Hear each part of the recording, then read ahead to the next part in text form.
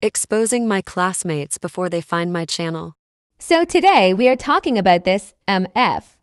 Let's call him Eric cause it's similar to his name.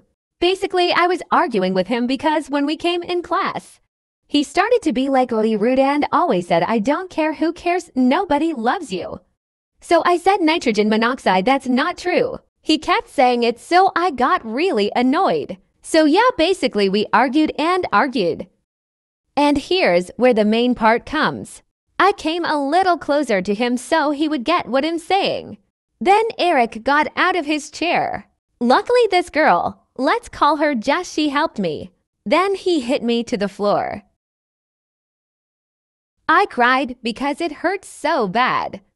I'm telling that you hit Timia. So yeah, Jess went and told our teacher. My bestie quickly dashed over to the scene and started to squabble with him. The teacher came and saw.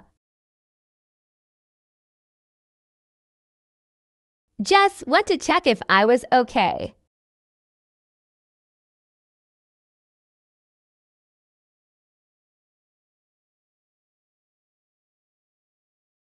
Eric, you know we do not hit people in this classroom.